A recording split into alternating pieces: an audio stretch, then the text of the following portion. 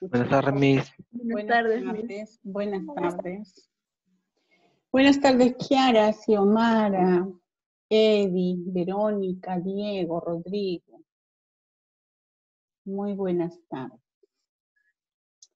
A ver, vamos a trabajar el día de hoy Historia Universal, joven. ¿Ya? Para el día miércoles poder trabajar Geografía. Vamos a avanzar con Historia Universal, que es lo que más me interesa lograr terminar. A ver, cuaderno de Historia Universal, fecha para el día de hoy, 24 de agosto del 2020. ¿Qué habíamos trabajado? ¿Cuál era el tema al cual habíamos llegado? ¿Habíamos hecho pesca negra ya? Sí, Miss. Ya. ¿Ahí habíamos quedado o, o hemos hecho otro tema más?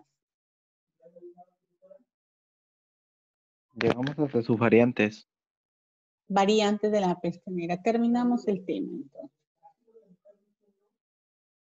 Vamos a trabajar el día de hoy otro de los acontecimientos que se dieron en esta Edad Media, la Guerra de los 100 años. ¿Ok?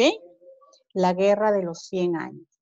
Recuerdan que cuando veíamos la peste negra, decíamos que se hizo un paréntesis a la guerra de los 100 años, se hizo un alto a esta guerra de los 100 años debido a, eh, a esta pandemia producida, ¿no? La peste negra.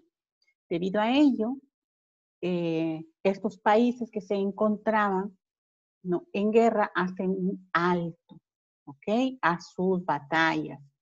Y vamos a estudiar el día de hoy la guerra de los 100 años entre quienes. Ah, ya. Aquí tenemos a un personaje principal de la guerra. Me imagino que historia universal de cuarto año habrás trabajado tú la guerra de los 100 años. ¿Sí? Personaje que sobresale en la guerra de los 100 años. A ver, jóvenes, peleense por participar. ¿Nada? es el personaje que sobresale aquí en esta guerra? Um, digamos que gracias a ella no se puede lograr cierta victoria. A ver, ¿quién fue?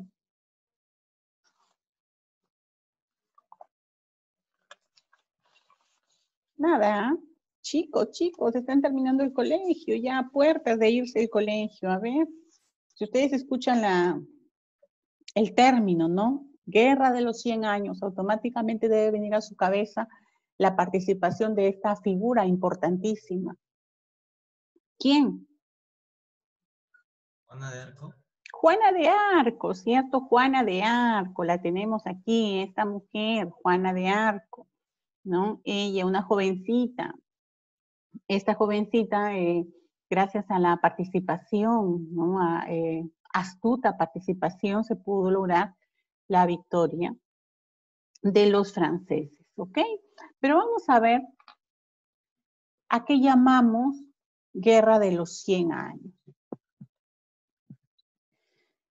Cuando decimos guerra de los 100 años, estamos hablando de ese enfrentamiento bélico, ¿no? de ese conflicto que se generó en estos dos grandes reinos, el reino de Francia y el reino de Inglaterra. Pero ¿por qué es que se peleaban? Ah, por lo que se han peleado en la Edad Media y en la Edad Moderna. Posesión de territorios. Por ello mismo se pelearon por Francia e Inglaterra. Territorios que, que tenía Inglaterra dentro de los límites territoriales de Francia. Ustedes dirán, ¿qué es eso, profesora? Si pertenecían a Inglaterra, ¿cómo iban a estar en Francia? Ah, pues sí, porque el rey de Inglaterra era duque de estos territorios que se encontraban dentro de los límites territoriales franceses. Principalmente el control del ducado de Aquitania, llamado luego ducado de Goujet. Cuando tú veas, cuando tú de repente tienes alguna pregunta, el ducado de Aquitania es el mismo que el ducado de Goujet. Y por ese control de de este territorio es que se peleaban Francia e Inglaterra. Muy bien, vamos a ver, pero ¿por qué? Si Inglaterra tenía ya muy buen territorio, ¿por qué es que se, se peleaba por un pedacito de territorio que se encontraba dentro de los límites territoriales de Francia? Porque este ducado de Aquitania le permitía el ingreso de Inglaterra al continente europeo. Ah, estoy dentro de mi territorio, entonces yo puedo ingresar fácilmente y puedo seguir avanzando y puedo seguir conquistando, ¿no? Y precisamente esto repercutió en que Francia quiera quitarle el ducado de Aquitania a Inglaterra. Hablamos de guerra de los 100 años, pero no precisamente se dio 100 años continuos de lucha. Ya hemos dicho que fueron 116 eh, años que en realidad dura este conflicto, pero con años de tregua. ¿no? 61 años de tregua, perdón, 55 años de tregua en determinados y diferentes paréntesis, ¿ok? Igual los 61 años de guerra, no continuos, por supuesto, en determinados momentos. ¿Qué año se va a dar? En el año 1337, el año 1453. Como toda guerra, tenemos bandos, ¿no? Tenemos Francia, e Inglaterra. A Francia apoyan todos estos eh, reinos y ducados también, ¿no? El reino de Escocia, el ducado de Bohemia, el reino de Castilla y el ducado de Avignon. Inglaterra estaba apoyada por el reino de Flandes, por los reinos alemanes, ¿ya? Y por el reino de Portugal. Reinos alemanes o reinos germanos y por el reino de Portugal. Otra de las causas importantes también de, este conflicto, aparte de la posesión territorial que fue la causa principal de esta guerra, viene a ser también la sucesión al trono. Se peleaban ¿no? por la ascendencia al trono la dinastía Valois y la dinastía Plantagenet.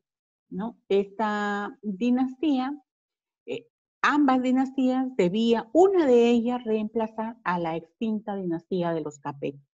Recuerden que la dinastía, historia universal también, ¿ok?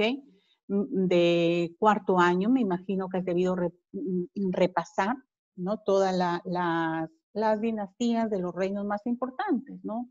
Si tú escuchas la dinastía de los Borbón, por ejemplo, ¿a qué reino lo, ¿A qué reino se refiere o en qué, reino, en qué territorio reinó la dinastía de los Borbones? A ver, jóvenes. Borbones en... ¿Dónde? Inglaterra, Francia, España, Alemania, ¿dónde los Borbones? Alumnos de quinto año, ¿dónde? Nada. A ver, ¿quién salva? ¿Hombres o mujeres? Chicos, es algo bien sencillo. A ver. Dinastía de los Borbones. ¿Qué reino? Francés. ¿Mm? España. España, la dinastía de los Borbones, ¿cierto? La dinastía eh, principalmente en España. Y la dinastía de los Habsburgo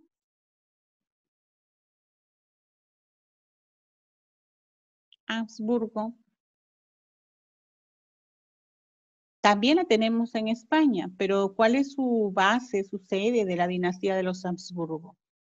Alemania, ¿ya? La dinastía de los Habsburgo, Alemania. Y tenemos aquí en Francia los Capeto, que había sido una dinastía extinta, y eh, peleándose los Valois y los Plantagenet. Entonces tenemos aquí pues que eh, con ayuda de Juana de Arco, una de estas dinastías va a tomar el control. Y dentro de esta guerra de los 100 años, avíseme si lograron terminar, por favor. Avíseme si lograron terminar.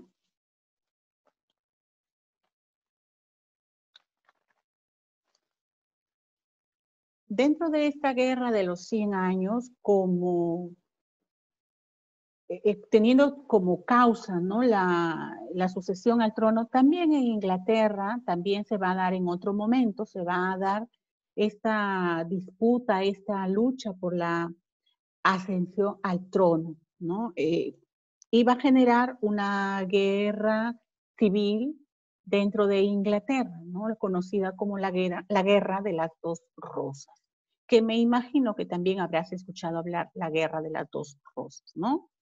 También la vamos a, a, ver, la vamos a mencionar. Ok, entonces me indica si ya terminaste, que te quede clarísimo cuál es el propósito de, de, estudiar la guerra de los 100 años, que tú recuerdes, que tú eh, relaciones, ¿no? Escuchando el término de guerra de los 100 años, automáticamente pienses en esta guerra que se llevó entre Francia e Inglaterra por un periodo de 116 años no continuos. Y dentro de estos 116 años no continuos de guerra se van a dar acontecimientos también importantes que marcan la historia de la Europa medieval, como por ejemplo lo que hemos estudiado ya en la clase pasada, ¿no? la, la, peste negra. Y también dentro de, de, este contexto de la guerra de los 100 años va a surgir en Inglaterra una guerra interna, ¿no? unos problemas, más que guerra, unos problemas internos, conocidos como la guerra de las dos rosas. ¿no? Y tenemos acá que también dentro de este contexto de la Guerra de los 100 años hay una figura importantísima que va a marcar la victoria para los franceses, Juana de Arco, conocida como la doncella de Orleans. ¿Ok? ¿Me avisas si lograste terminar?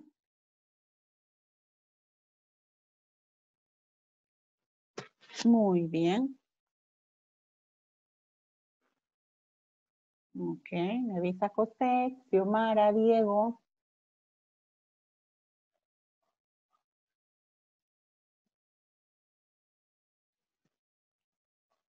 Ok. No. Un ratito. Ya, te, te espero. Ok, Xiomara. A ver, jóvenes. Vamos, voy a darles un, voy a hacer un punto y aparte de la guerra de los 100 años y voy a darles un, eh, más que un comunicado, voy, me gustaría conversarles, eh, contarles que eh, no por el hecho de que eh, tú estés matriculado o no por el hecho de que tu nombrecito aparezca ahí que no sé si está recibiendo o no la clase, no por ese simplemente hecho de aparecer tu nombrecito aquí en la pantalla, quiere decir que estás aprobado en el curso. No por ello te voy a tener que asustar, no, cada uno sabe y es responsable de sus actos, ¿verdad? Eh, yo tengo una lista de alumnos matriculados y de esa lista de alumnos matriculados tengo que dar un reporte de calificativos, de calificaciones, calificaciones de participación en la clase, calificaciones de trabajo que se dejan, ¿ya? Entonces, es todo un conjunto, una sumatoria de calificaciones que va a dar lugar a fines del trimestre, ¿no? Un reporte de tus notas.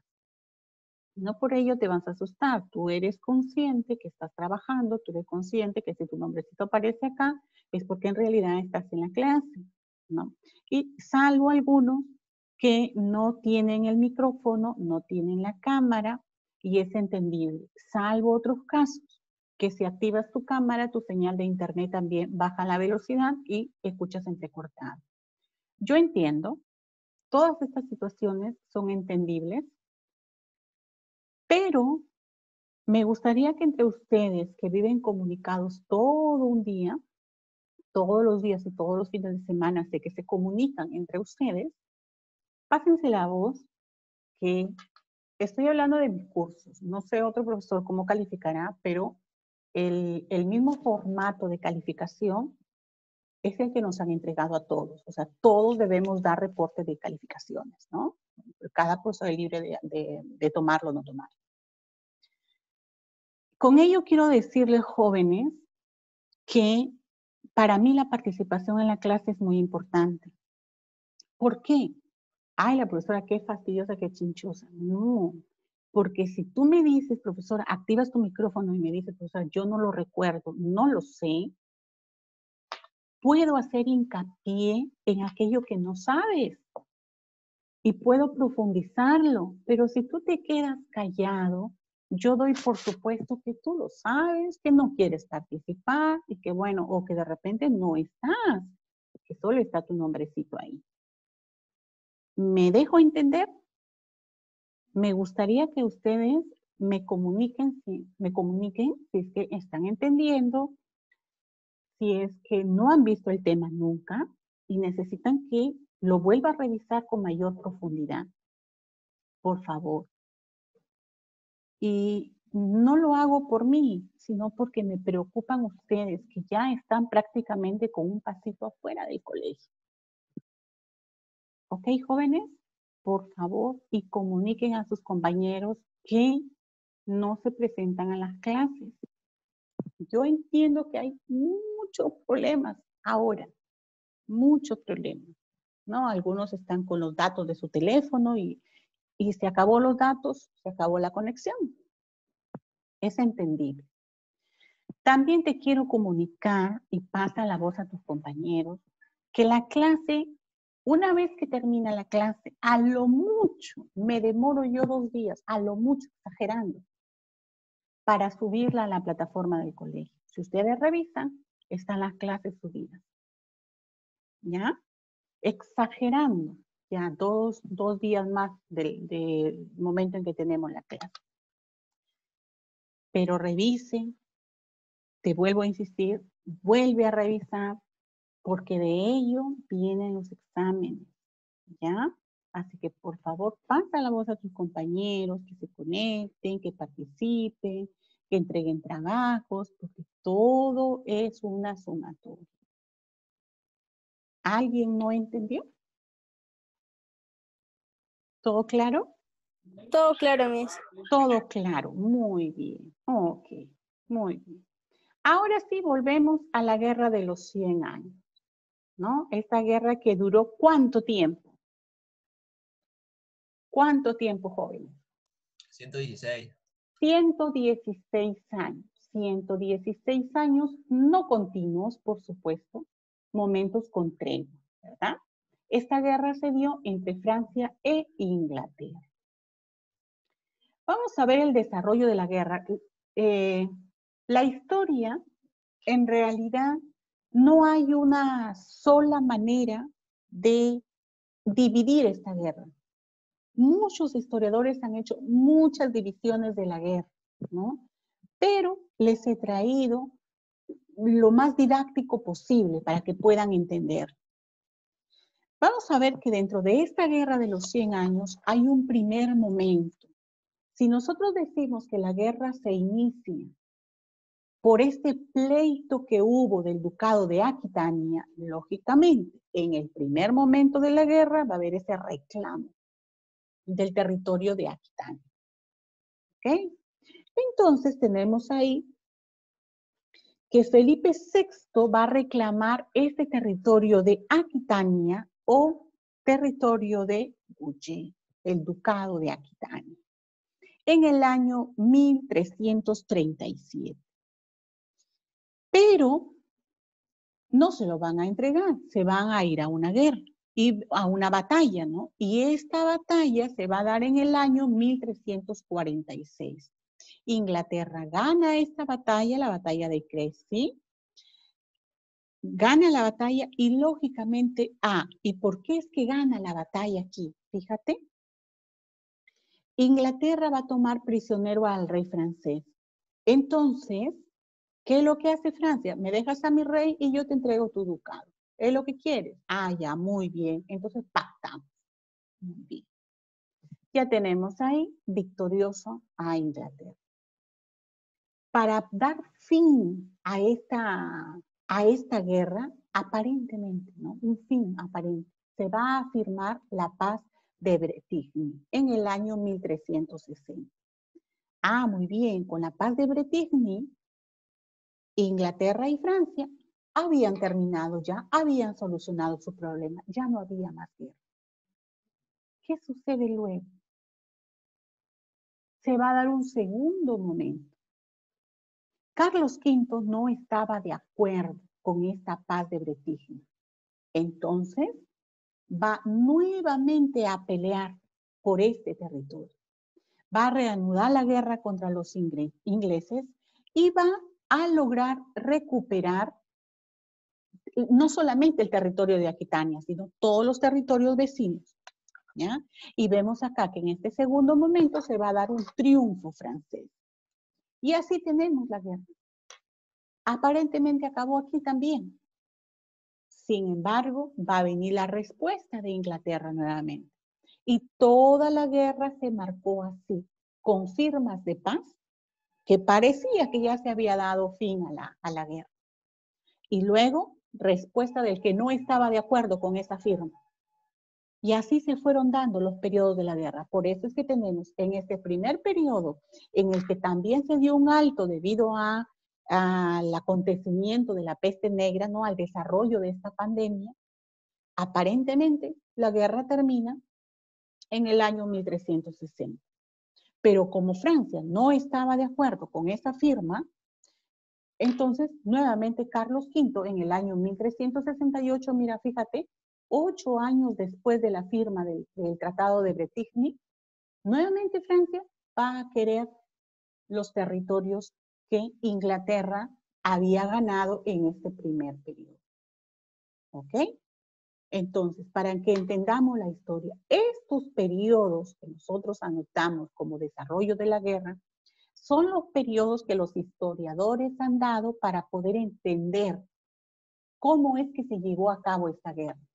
Pero en realidad, en estos 116 años, pues había momentos en que se firmaba la paz ah, todo muy bonito, acabó la guerra. Pero luego, unos años después, se anulaba esa paz y se volvía a la lucha. Y así estuvieron todo este periodo. Es por eso que decimos 116 años, ¿no? Con interrupciones. ¿Ok? Muy bien, me avisan si lograron terminar.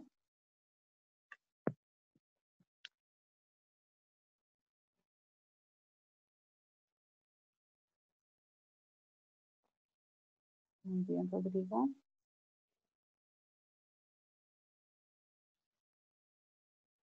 Ok. Espero tres minutitos más para que termine el resto.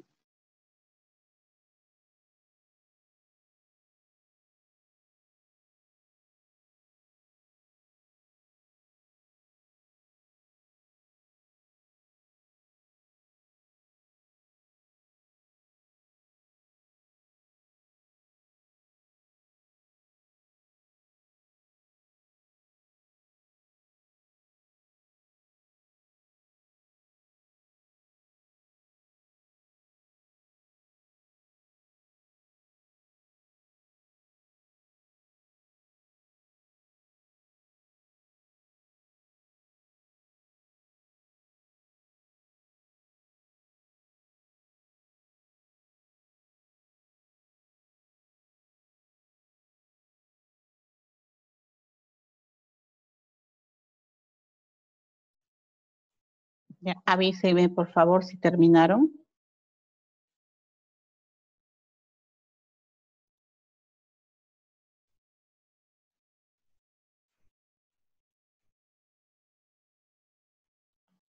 Muy bien. Diego. Me avisa Cosette.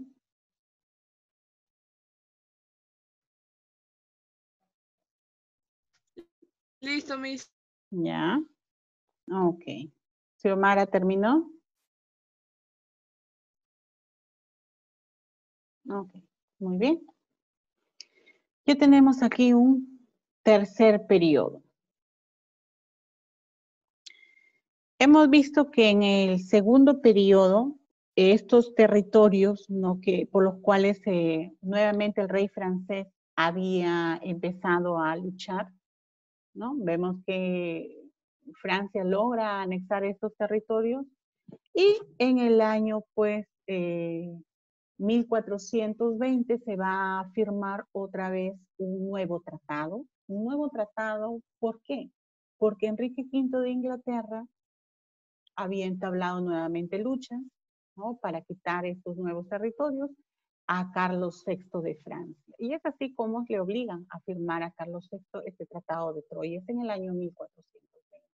Si te vas dando cuenta, cada periodo va marcando una, una victoria para cada uno de los países, porque precisamente si firmaban un tratado no estaba de acuerdo, hacía la lucha, ¿no? Se iba nuevamente a la batalla, nuevamente se daba la guerra y así una sucesión de tratados. En el año 1420 se va a firmar este tratado de Troyes. En este tratado de Troyes se va a reconocer como heredero del trono francés a Enrique V. ¿No? Este Enrique V, vamos a, a ver que Enrique V de Inglaterra, ¿no? Se afirma que se firma el Tratado de Troyes y se reconoce como eh, heredero del trono francés. Eso quiere decir que Inglaterra se estaba apoderando de Francia. Lógicamente esto para los franceses era una derrota eh, terrible. No solamente perdía uno o dos espacios de sus límites territoriales, sino que estaba perdiendo la corona. El rey ¿no? que iba a gobernar su territorio iba a ser de Inglaterra. Esto era terrible para Francia. Es en este momento ¿no? en el que el pueblo francés se veía ya totalmente derrotado, cuando aparece esta jovencita, Juana de, Arco, conocida como la doncella de Orleans, ¿no? A los dos años de haberse firmado el Tratado de, de Troyes, se va a dar nuevamente estas luchas. Y esta, esta señorita, esta señorita que había nacido ¿no? en, en una familia muy acomodada, una familia, digamos, pudiente, y ustedes saben que en esa época, pues, la mujer no tenía preponderancia social. Quien tenía el actuar social era el hombre. El hombre era la cabeza de la familia y el hombre en el actuar social era el más importante. La mujer no. Por lo tanto, esta señorita muchas veces se vestía de, hombre para poder luchar. ¿no? Y es así como gracias a la participación de Juana de Arco se va a lograr la victoria francesa. Juana de Arco va a apoyar a Carlos VII para eh, que pueda quedarse con la corona de Francia y no sea Inglaterra quien reine a Francia.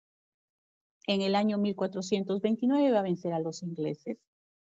Por lo tanto, va eh, a ganar enemistad de un grupo que estaba ganando terreno en esta sociedad francesa, los famosos borgoñeses su nombre lo dice, ¿no? De Borgoña. Entonces, los borgoñeses mm, apoyaban al rey de Inglaterra, pero Juana de Arco apoya a Carlos VII como rey francés y a él le comunica cómo actuar, qué hacer en cada una de las batallas. La historia nos cuenta que Juana de Arco, según ella, recibía mm, digamos, eh, luces, ¿no? De, de, Dios, mensajes divinos, cómo actuar y cómo obtener la victoria. Es por eso que los borgoñeses la acusan de hechicería. ¿no? Acusada de hechicera, Juana de Arco es tomada prisionera ¿no? y muere en la pena de la hoguera. Pena que era común para todas aquellas personas acusadas de hechicera, principalmente a las mujeres, ¿no? a quienes más se les acusó de hechicera. Juana de Arco muere en la ciudad de, de Rouen en 1430, pero muchísimo tiempo después los franceses logran reivindicar su nombre. 20 años después de su muerte, ¿no? y tras muchos esfuerzos de su familia, su familia que quería limpiar el nombre de Juana de Arco, siendo que no era hechicera, al contrario, Juana de Arco había sido una buena estratega militar. Es así como logra su familia que se examine su caso, ¿no? Y el 7 de julio de 1456 se reconoce la inocencia de esta señorita y se declaró herejes a los jueces que la habían acusado, ¿no? En su momento de herejía. Pero ¿cuándo llega el máximo reconocimiento de Juana de Arco? Juana de Arco para los franceses es Santa Juana de Arco. ¿Por qué? Porque en el año 1929, Juana de Arco es canonizada por el Papa Benedicto XV. Imagínate, 1929, Juana de Arco sube a los altares de la, de la Iglesia Católica. Por lo tanto, para los franceses es Santa Juana de Arco. Para nosotros, ¿no? Para nosotros, para aquellos que estudiamos historia, simplemente es la doncella de Orleans que ayudó al pueblo francés a conseguir el triunfo en esta guerra de 116 años, conocida por la historia como la Guerra de los 100 años.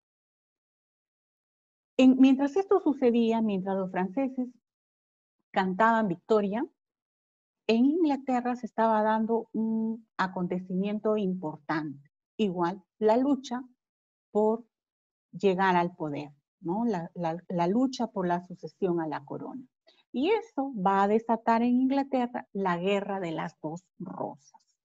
¿Me avisas, jovencito, si es que terminaste hasta ahí?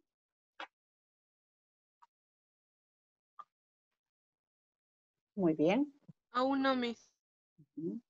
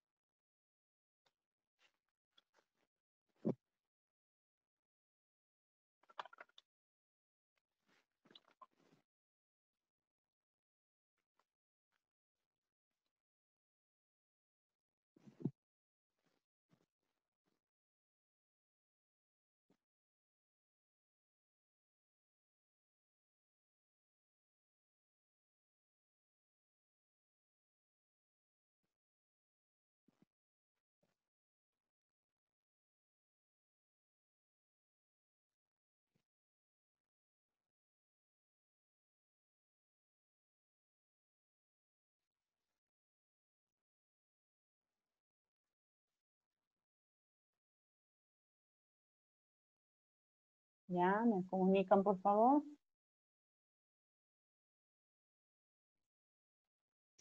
Un segundito más, por favor.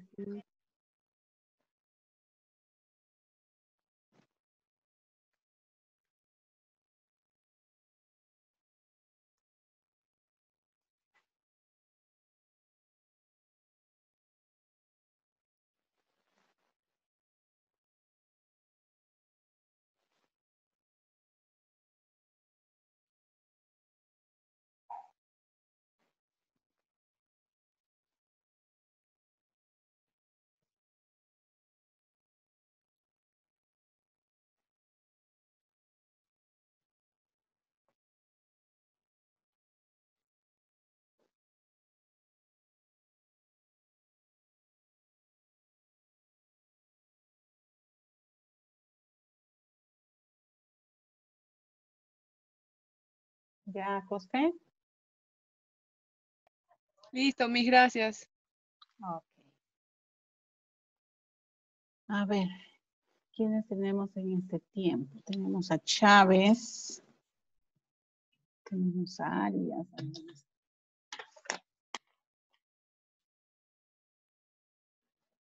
Arbón, Segovia, ¿quién más? A ver, Morales. Mm, Flores. Gago. Y nadie más. Muy bien, jóvenes.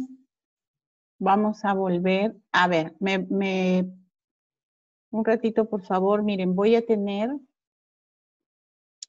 eh, la inspección de, he llamado a Movistar para que me vengan a solucionar el problema esto de, de, de mi señal del Wi-Fi, ¿ya?